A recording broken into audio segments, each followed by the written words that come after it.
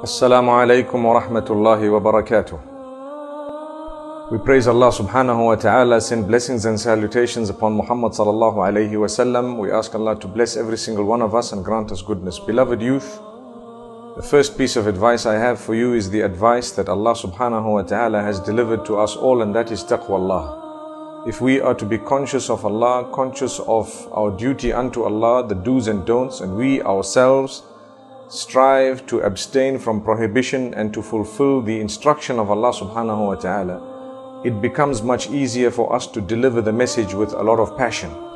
Whereas if we ourselves are not too regular with our prayers or not too uh, fulfilling of the duties that Allah has placed on our shoulders, it becomes more difficult for us to convey that message in a convincing manner. Secondly, respect yourself, respect everyone around you, respect the fact that you are a Muslim, and understand that those who are around you are always in search of goodness, and the human mind is extremely inquisitive. So, if you keep trying in a very polite way, and if you are a person who has wisdom and tact, and you understand the norms of the people, and you abstain from insulting others, inshallah, it will have a greater impact than if you were to just go out and swear people, insult them, belittle them, make them feel like they are very, very far out of the fold of Islam sometimes, yet they are trying. There is another piece of advice that I wish to deliver, and that is the importance of the scholars of Islam. If we are to visit the scholars of Islam who are promoting the truth once in a while and learn from them, I think inshallah people will notice whom we are affiliated to in a greater way and that itself would also be a means of da'wah. What this would mean is if we are to affiliate with the correct people as far as possible and even if we have had meetings perhaps or we have had associations with those who may not be up to scratch according to what we would believe, uh, we would still be able to clarify such matters and we would still be able to leave a straight line and inshallah a message that will be loud and clear.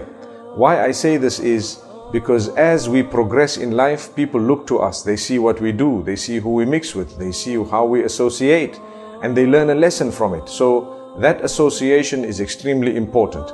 As we grow, we may have to associate with those sometimes uh, who may be searching for the truth in a way that if we mixed with them, it would help them.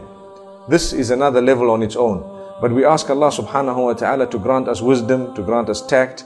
Remember, I have said this many times and I say it again, go through the seerah of Muhammad sallallahu alayhi wasallam and study the way he treated the others, the way he spread the message, the way the da'wah at that particular time was delivered. That was the most pristine way. That was the best way. If we are to follow his system and his style and understand what he did, by the will of Allah, we will become better people. The last piece I leave you with is always improve yourself. Don't ever think for a moment, I know everything. Don't be a person who cannot accept correction or who cannot accept some form of rectification. It's important for us to know we will be corrected. We will have to correct ourselves no matter what level you are on. We will learn new things. We must be on the lookout. We must be searching, hunting, and making an effort to learn more and to learn new things, to increase our knowledge. And this is why we always say, O you who has bestowed Ibrahim with knowledge, bestow me with knowledge. O you who has bestowed Sulaiman with the understanding, bestow me with understanding as well. And may Allah help us to convey it in a way that Muhammad sallallahu has conveyed it. Humbleness and humility is paramount. We ask Allah to bless us all. Jazakumullahu khaira. Wassalamu alaikum wa rahmatullahi wa barakatuh.